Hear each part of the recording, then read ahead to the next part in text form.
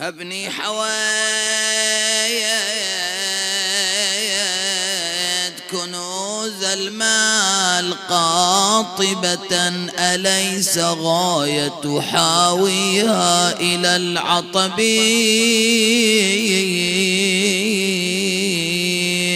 هون عليك فإن العيش معركة. والناس بين مسلوب ومستلب.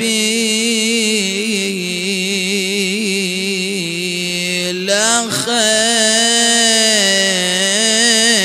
لا خير في هذه الدنيا وإن سلمت.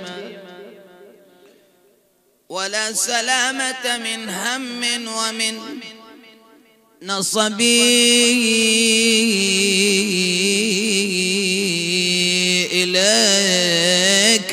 حية الوادي حية الوادي يعني الدنيا.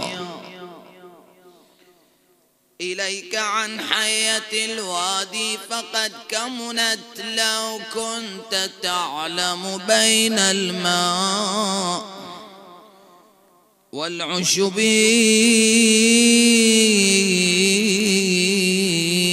وكم ترشفت سما من مراشفها قد كنت تحسبه ضربا من الضرب. لطالما جردت من ملكه ملكا. هاي الدنيا اللي ما ترعى كبيرا ولا صغيرا.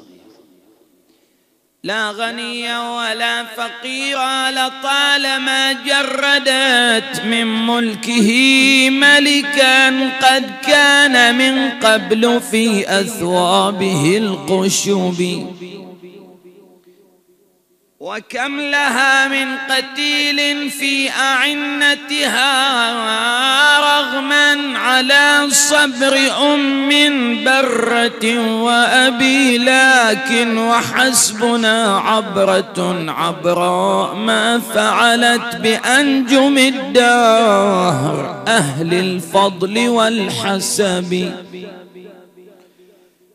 ماذا صنعت بهم يا شاعر؟ قال أودت بأحمد خير الخلق ثم رمت وصيه بسهام الغدر عن كثب وبزت البضعة الزهراء نحلتها ويلي يا ويلي. وإرثها بعد رد الصدق بالكذب وأفرغت سمها في المجتبى حسن ومزقت صنوه بالسمر والقضب يعني مزقت الحسين. وهل اكتفت بذلك يا شاعر؟ قال لا والله حتى تركته ثلاثة أيام بلياليها على واهنة الرمضاء لا مغسل لا مشفل أسفي عليك أبو علي. يعني على خلاف العادة الجارية عادة الميت. إذا مات الخلق تحضر جهازة وتتسارع العالم على سرعة جهازة. ويصيح صايح في البلد عدكم. جنازة يا سلام قوموا واكسبوا من الله الأجر فيه إلا هالجنازة. أنا روحي فدالك يا الذي للغسل ما نار ولا الجسد من الحمل من فوق. شيال بعد ولا الجنازة هللت من خلفها رجال. ما حد حفر قبره ونزل جثته في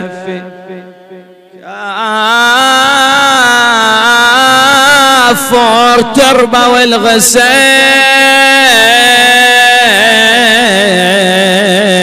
دم الجاري. والجفن فصل له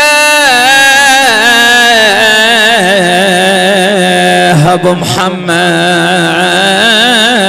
بواري. وين قبره قبره بقلب أخت الخذاها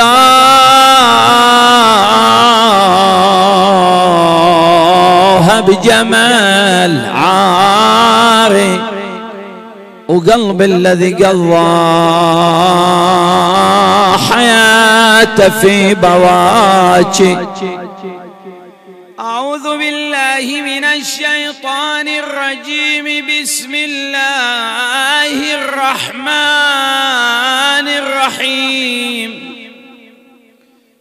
قل لن يصيبنا إلا ما كتب الله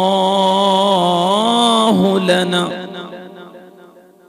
هو مولانا وعلى الله فليتوكل المؤمنون.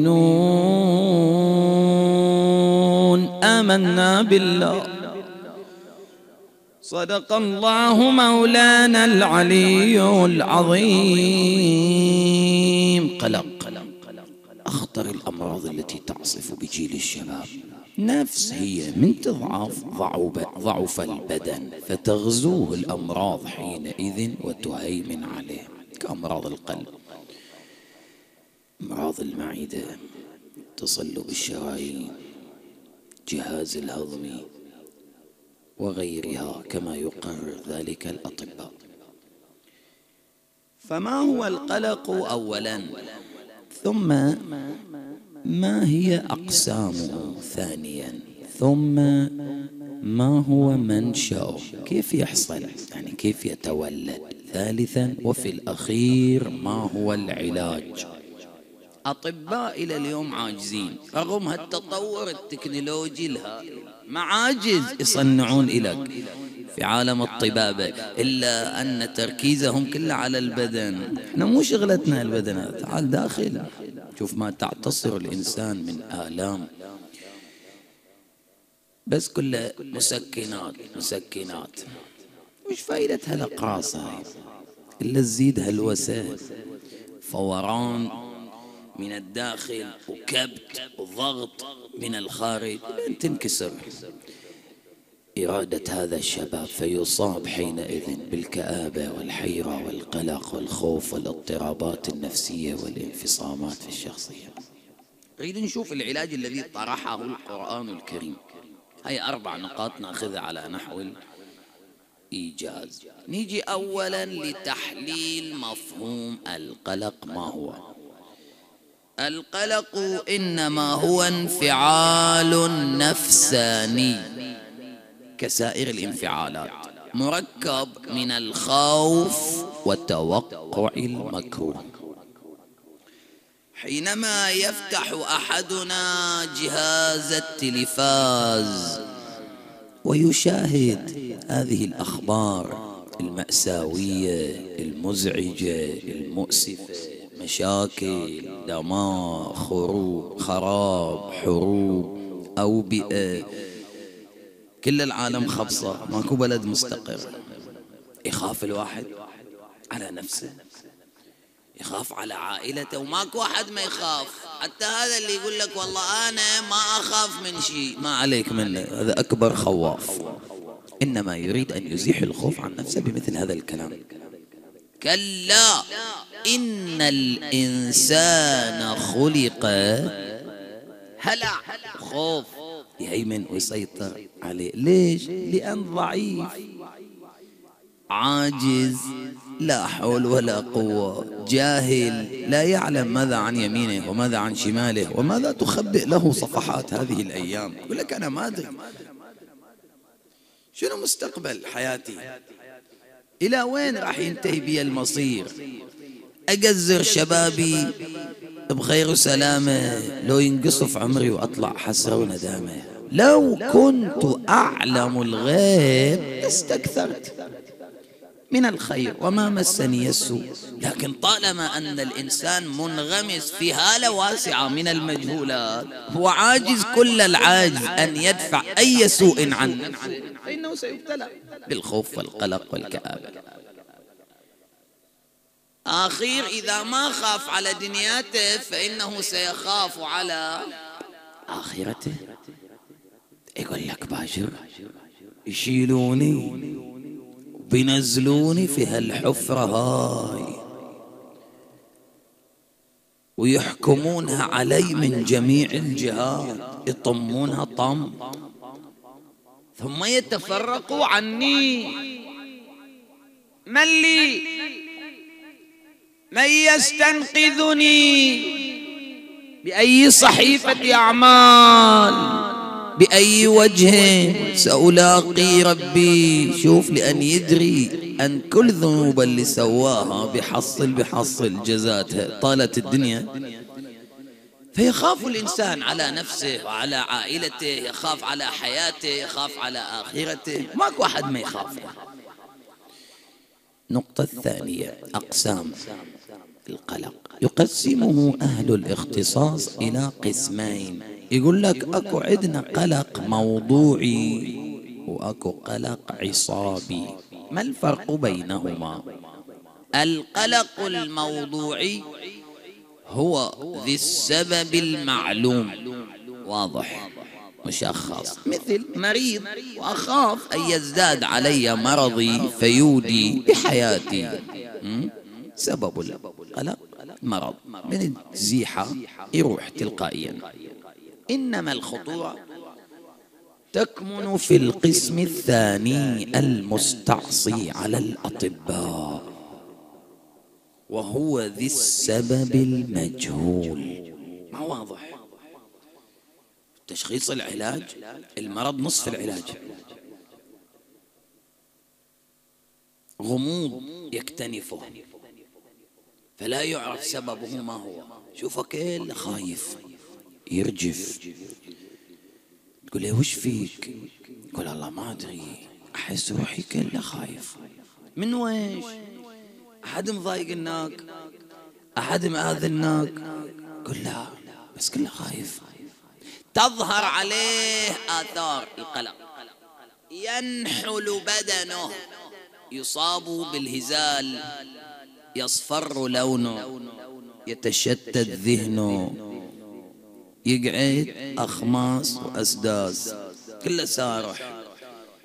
شوفه يمشي شعره. يقرض أظافره. يمشي لوحده في الشارع يخاف من الوحدة يخاف من الظلمة تسمع يزنزن ويصافر أي ويش يسليها يشغلها يصرفها بصارف. كلها آثار القلق. النقطة الثالثة سببه من أين ينشأ يعني؟ كيف يحصل هذا القلق؟ إنما ينشأ القلق نتاج حراك صراع تجاذب بين ميولات النفس والواقع الخارجي. هذا هو سببه. شوف نفس عندها ميول يسمونها منطقة اللاوعي. كل واحد منا الحين لو تسايل يقول لك أنا إيش قد كان عندي ميول وأفكار وأحلام من أيام الصغر وإلى حين ما سويت. أريد أحققها بس ما قادر. متى ما اصطدمت ميول الإنسان مع واقعه الخارجي هنا يتولد القلق. غالبا ما يصاب الطلاب بالقلق في ليالي امتحانات. خبصات حالتهم حالة. لا ياكلون لا ينامون لا يهدؤون. أسبوع واحد شوف كم كيلو بينزل. الحين على حساب الامتحانات اللي بيسويها. يجي ليلة الامتحان يقعد يفتح كتبة ودفاتره يحضر يذاكر يريد يروح باكر على جامعته يقدم فيزياء ما أدري كيمياء. نفس من داخل عندها ميول. شو تريد؟ ماذا تطلب؟ شهادة؟ عالية درجة امتياز. يقول لي الله لا تفشلنا باكر هي الأوادم لا تنكس رأسنا. يجي يفتح كتبه وإذا يشوف أوه لا زالت هناك مسائل عديدة. لم يتسلط عليها تسلطا جيدا. هو بعد لم يهضم المادة ولم يتقن مسائل الكتاب. الواقع يقول ويش؟ ما تقدر. النفس تقول لازم. تقدر. هنا يتدخل العقل. لإيجاد حل. فيقف العقل حائرا مكتوف اليدين. يقول أنا إيش بيدي عليك؟ أريد أشيلك من هالأزمة أخلصك من هالورطة لكن ما أقدر. هذا مجهود سنة كامل تبيني أعطيك إياه في ليلة واحدة؟ ما يصير. متى ما تحير العقل عن إيجاد حل هنا يتولد القلق وينفتح بابه على مصراعيه أو قول شباب ثلاثين خمسة وثلاثين لحين زوجة ماكو. بيت ما عنده. وظيفة نفس من داخل تعتصر. مثل دبابيس. ما عليك من طول بعرض جبال من هموم. مترادفة في ذهنه. تضغط هالنفس هاي. يلا عاد وش هالحالة؟ الناس كونت حياتها وبنت مستقبلها التلحين لا وظيفة لا زوجة لا بيت. يطلع إلى الخارج يريد يلبي ميولاتها فيصطدم مع واقعه دنيا كلها خرباطة ماكو شغلة عدل لا وظائف لا أشغال لا أعمال. فيصطدم مع واقعه يتدخل العقل يقول أنا أريد أسوي لك حل بس وش بيدي عليك؟ هذا واقعك هذا وضعك هذا بلدك وأنا ما أقدر أقلب لك الدنيا رأسا على عقب. ما أقدر أناقض الواقع. متى ما اصطدم وتحير العقل عن إيجاد حل هنا يتولد القلق وينفتح بابه على مصراعيه العلاج. أطباء قلت لك لحين ماكو. أصلا هم ما ملتفتين ولا مركزين اهتمامهم إلا على البدن بس يدون يسكتون. الآلام. القرآن ما هو العلاج الذي طرحه القرآن الكريم لمرض العلاج إنما هو التوكل. على الله عز وجل. قل لن يصيبنا إلا ما كتب الله لنا. هو مولانا وعلى الله فليتوكل المؤمنون. الذين آمنوا وتطمئن قلوبهم قلت لك المدار كله على القلب. النفس إذا ما تهدى ماكو فايدة. ألا بذكر الله تطمئن القلوب. بس. هذا هو العلاج. توكل على الله. هذا إحنا متوكلين عليه. قايمين قاعدين. نتوكل على الله. نتوكل على من؟ وما شايفين. شيء من الخوف والقلق والكآبة والحيرة قد انزاحت. عن أنفسنا بل كل يوم يعيش الإنسان في هالحياة هاي. يزداد ألم ونكد وغصص هموم مشاكل إذا درجة الواحد يمل من حياته ويكره دنياته. من يشوف المآسي قدامك. يقول لا خيرة الله فيها. لا لا. توكل على الله مو فرد حكاية كلمتين واحد قالها واعتبر نفسه. متوكل. هذا مقام من مقامات القرب العلية. هذا مفهوم قرآني معمق جدا كتبت عنه الأقلام حامت حوله الأفهام وانزلقت عند كثير من الأفهام منذ الصدر الأول.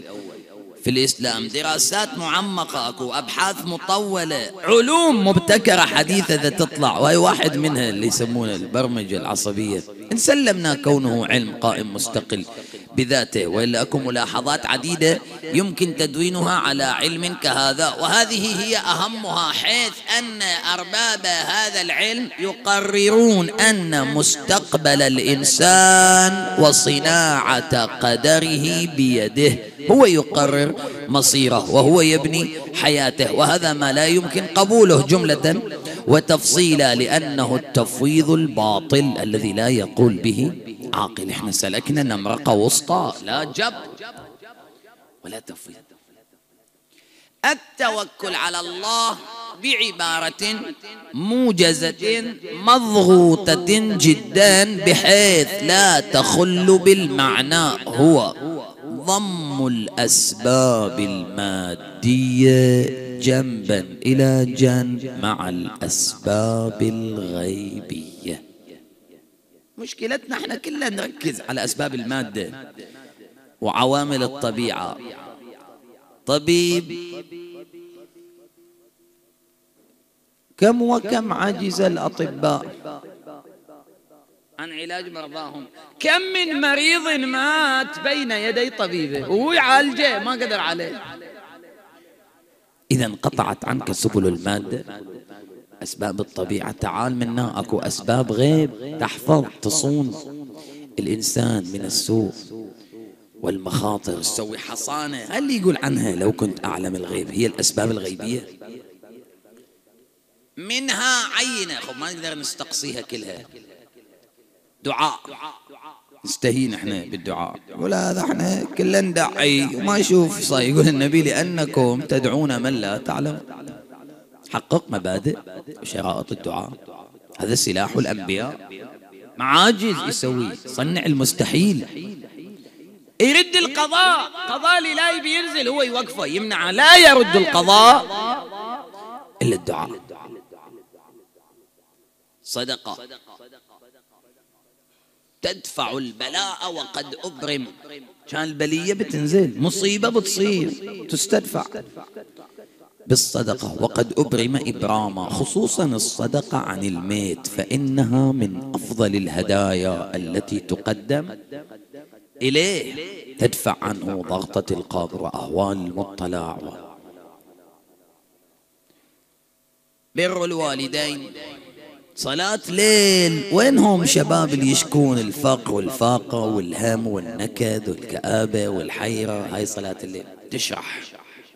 الخاطر تبيض الوجه تنور القلب تطيل العمر. وليست هذه نقضا ليس الدعاء نقضا لقانون علية والسببية بل إن الدعاء بعينه علة تامة وسبب كامل. دواء سبب مادي والدعاء سبب غيبي. هذا سبب وهذا سبب. قرآن. قراءة خصوصا الفاتحة. هذه الشفاء هي الدواء. الحين حاط فنجان على شفته وقع عليه بس الحمد. يقول مولانا الصادق صلوات الله عليه ما قرأت الفاتحة على وجع أو ألم سبع مرات إلا هدأ وسكن. من المجربات. حط إيدك انت على موضع الألم. يوم يصير عندك واحد مريض على بطنه والله على راسه. واقرأ عليه الحمد سبع مرات وشوف النتائج. مو مسكنات مو بنادول أنسولين ما أدري. شغلات لا. هذا الشفاء شفاء يعني تقتلع المرض من جذوره ولا تبقي له أثرا. أزيد يقول مولانا الباقر صلوات الله عليه لو قرأت الفاتحة على ميت ميت سبعين مرة وقام لما تعجبت لاحتوائها على اسم الله الأعظم. إحنا ملولين. رحم الله من عاد الفاتحة. قال بس عاد كالحين لأن ما ندري له ما نعرف قيمتها هم ذولاك يستشعرون. يترقبون خصوصا هاي الليلة ليالي الجمعة. ينتظرونها متى؟ هي أكبر الهدايا التي تصلهم لأنهم يعرفون قيمتها. إحنا ما ندري. إحنا لاهين لاهين بالدنيا. أهم هذه الأسباب أقواها وإن كانت كلها قوية أمضاها اللجوء إلى الله عز وجل بأشرف الخلق لديه ألا وهم محمد وآل محمد. تفضلوا داخل. اللهم صل. دخلوا في مجال هنا دخلوا. هذا مكان هنا. ثاني على حب الزهراء. لا تقعدون عند الباب تعالوا داخل. الثالث يغفر الله لكم.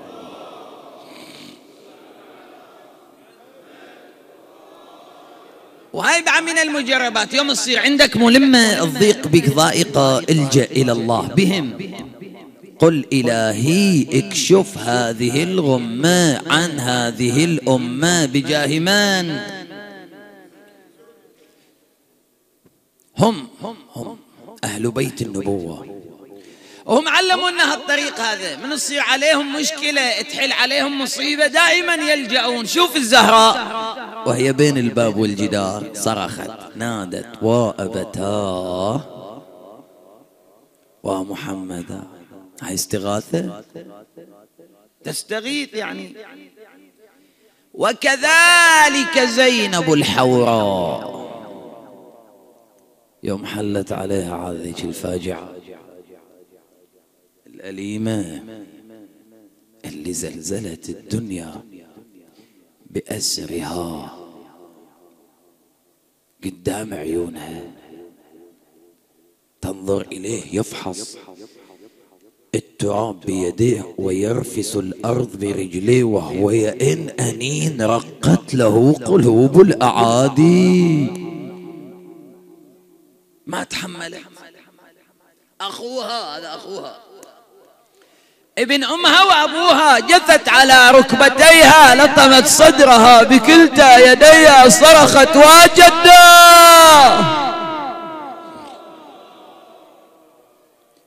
ومحمدا ثم مدت بصرها ناحية المعركة. نادت ثلاث مرات حبيبي يا حسين. يعرف هالصوت يميزه من بعيد. نور عيني حسين ابن والدي حسين إن كنت حيا فأدركنا. ما تقوم أبو علي. هذه الخيل والرجال قد هجمت علينا يا وإن كنت ميتا فأمرنا وأمرك إلى الله. ساقت الريح كلام العقيل إلى مسامع الحسين. أبو الغيرة أبو الحمية قام قام قام. على قدمه خطى ثلاث خطوات لم يتمالك إلا أنكب على حر وجه. يا علي مثخن بالجراحات وكثرة نزف الدماء صار الدم ينبع من صدره الشريف كالميزان.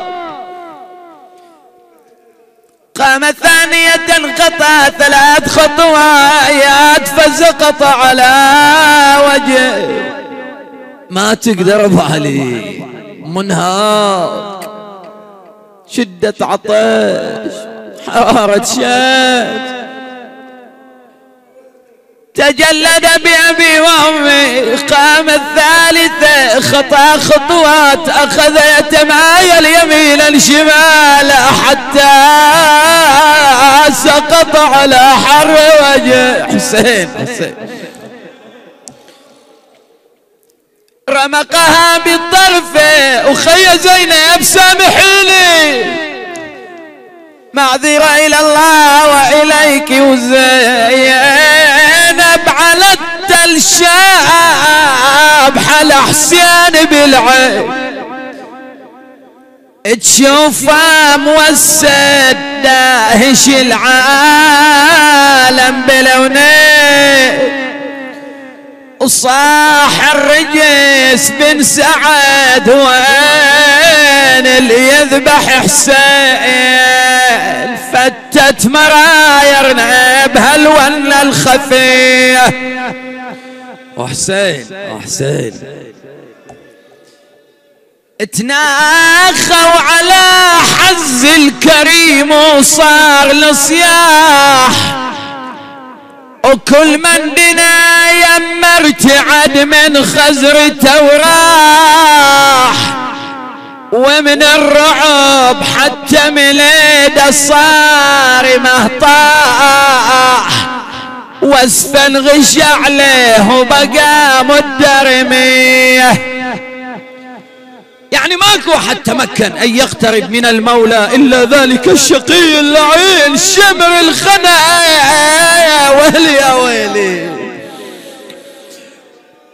والله شمر الخنا من عاين مغشي لفاله.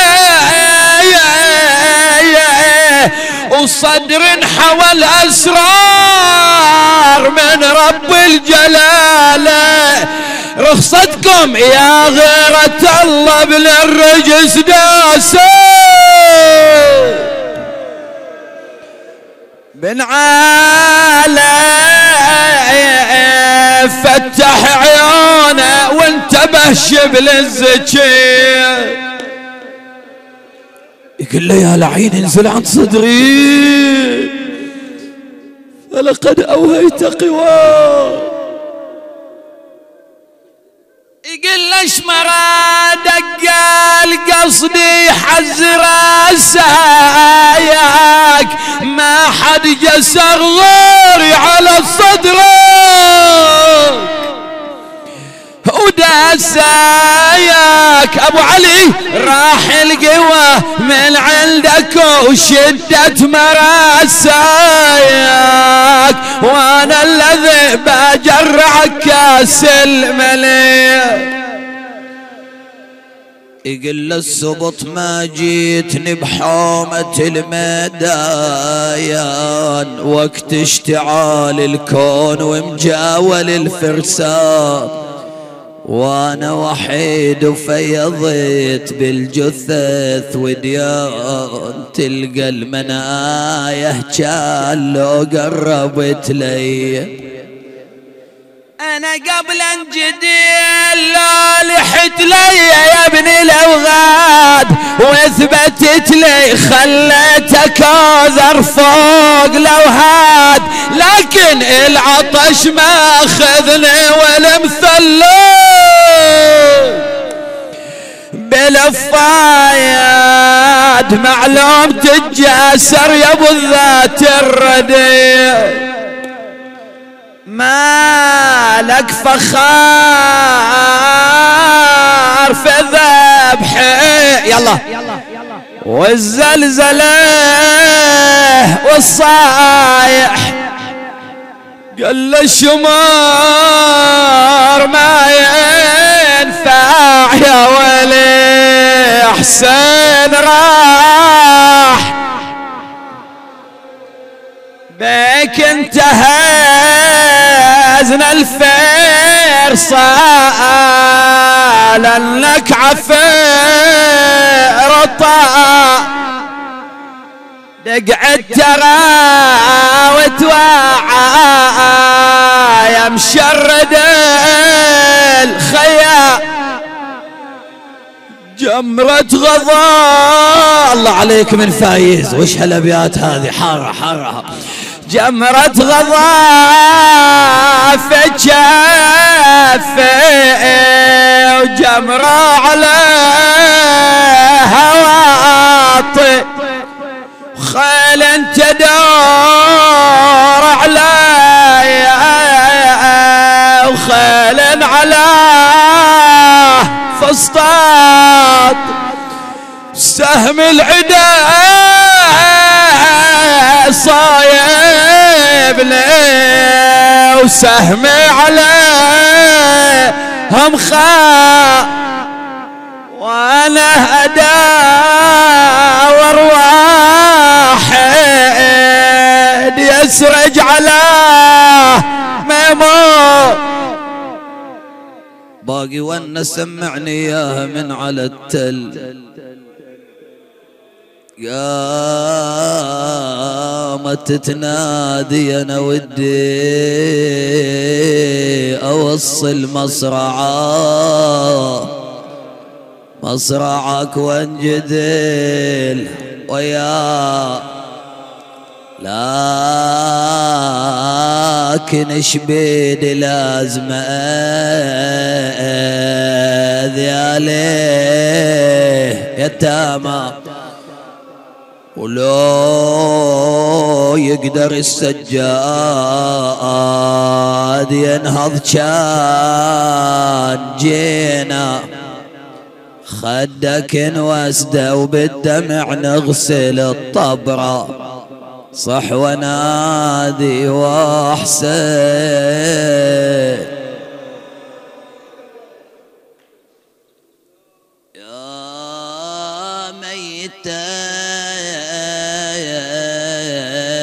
ترك الألباب حائرة. وبالعرى ثلاثا جسم تركا يا الله. السعيد الفقيد الغالي من اجتمعنا اللهم لأجله وسلم. اللهم ارحمه برحمتك. أسكنه الفسيح من جنتك. لقه منك رحمة ورضوانا. إله اشف صدره بالحسين. نور قبره بنور الحسين. ثبت له عندك قدم صدق مع الحسين وأصحاب الحسين. وارزقه اللهم الشفاعة الحسين يوم الورود واخلف على أهله في الغابرين وعندك نحتسبه. يا رب العالمين. إلى روحه وأرواح موتانا موتاكم من مات على الإيمان. إخواني لتفادي الزحمة نقدم العزاء من جهة المنبر. بارك الله فيكم جميعا. نهدي لهم جميعا هذه الليلة ثواب المباركة الفاتحة مع الصلوات.